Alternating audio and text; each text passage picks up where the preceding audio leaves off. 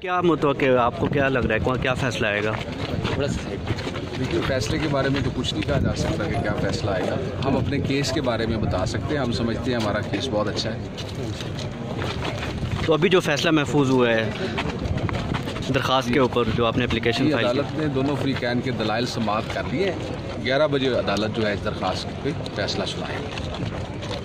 Captain Safdar साहब आएँगे? Captain साहब इस मेरा फ़ोन भी मेरे पास नहीं है ऑफ़ है। अभी उनसे रबता करना है हमने पूछना है उनसे कि तो क्या उम्मीद है कैप्टन साहब के आने की उम्मीद है अदालत के नहीं मेरी उनसे बात नहीं हुई उनका फ़ोन वैसे टाइम तो नौ बजे का नहीं था।